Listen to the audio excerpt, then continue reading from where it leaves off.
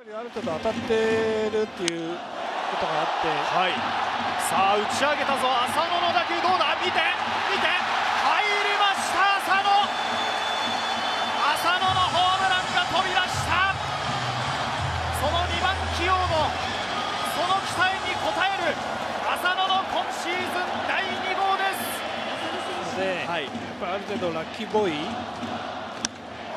さあ続けて初球打ちました3番のモンテスどうだ？モンテスか？ここはフェンス直撃。モンテスは二塁まで行きます。二塁でストップ。二塁でストップ。浅野のホームランの直後。モンテスも初球を叩きました。構成出していけるんでやっぱりインサイド一番きついじゃないですか。そのインコース。弾き返して一二塁間。今のバッティングまさにインコースのいいですね。大丈夫なっています。モンテス初球落ちましてフェアです。ライト線さあ二塁まで行きます。モンテスが二塁到達ツーベースヒット。初球。引っ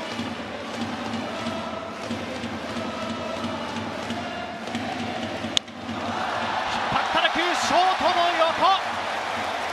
2者連続のヒットとなりました。ノーアウト。できてるんじゃないですかね。あそうですか。はい。門脇。三遊間を破るヒットで一塁に出ます。この2番で迎える。2番浅野。引っ張った打球どうだ。左中間です。左中間破った浅野は迷いなく二塁へ。これが2番浅野です。ここまでの柳です。吉川引っ張った。打球抜けた浅野が帰ってきます。追加点ジャイアンツ。2番の浅野が打って6番の吉川が追加点です。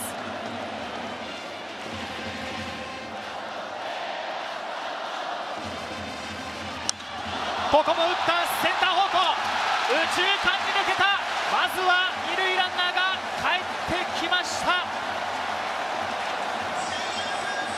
浅野のタイムリー。これで4対0浅野が今日猛打賞です。スライダー1球。ストレート弾き返した。痛烈な打球センター前。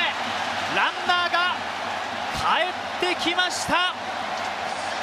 これで5対2リードを広げましたジャイアンツ。ワンアウトランナー一塁引っ張った打球さあ三塁線破っていった。レフト線。浅野はツーベースただ一塁ランナー帰った。ただ浅野は三塁に行ってここでアウトです。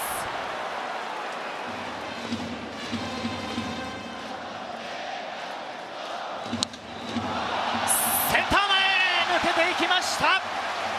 三塁ランナーの浅野は余裕を持って帰ってきました。これで6対2若林にも一打生まれました。